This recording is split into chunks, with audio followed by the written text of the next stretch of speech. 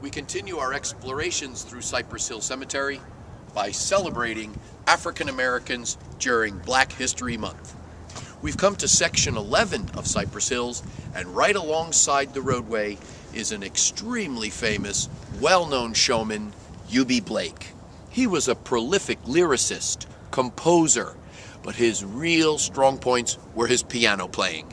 He played everything from jazz to ragtime to modern music he had a signature style. The way his long fingers would hop and skip across the ivories, it was something to be seen. He lived a long life, Eubie Blake, 1883 to 1983, died at 100 years old.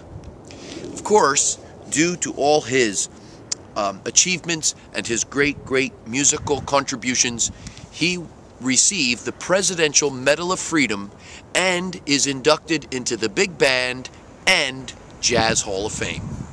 Here Eubie Blake lies in repose for eternity. Is that it?